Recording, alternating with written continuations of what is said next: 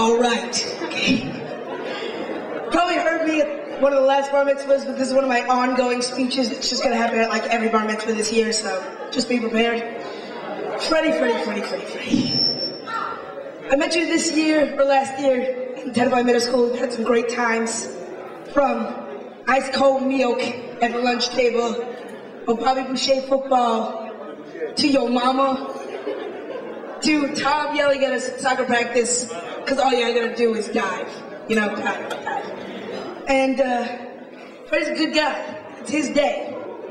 So I think we should all help him enjoy it. Come on, who here loves Freddie? Give me some. Give me, give give me, give give me, give give me. So Freddie, Freddie, Freddie, Freddie, Freddie.